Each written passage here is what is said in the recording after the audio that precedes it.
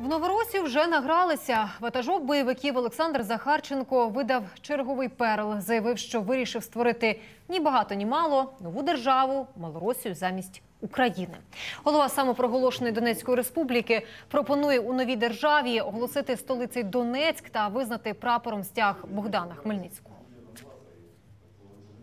Мы, представители регионов бывшей Украины, предлагаем переучредить государство и на месте бывшей Украины, опираясь на исторические предпосылки, учредить государство Малоросія.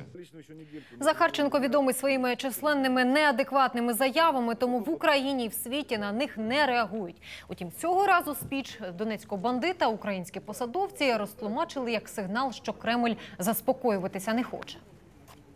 Заяви кремлівських клоунів-маріонеток, які називають себе керманичами окупованого Російською Федерацією Донбасу щодо створення Малоросії, це ще один доказ агресивних планів Путіна та його маніакального небажання вирішувати питання на сході України мирним шляхом.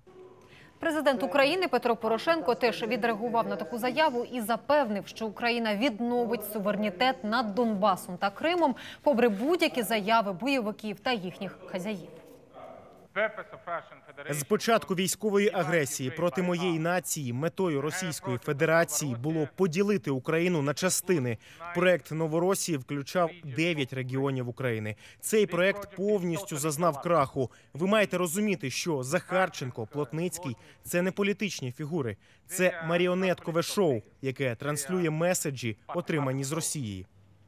До речі, інший луганський терорист Плотницький вже заявив, що про малороські фантазії Захарченка нічого не чув. А в Кремлі картинно знизали плечима. Мовляв, ми теж тут ні при чому. Тим часом Франція і Німеччина закликали Росію засудити бойовиків за цю заяву, яка є нахадним порушенням мінських угод.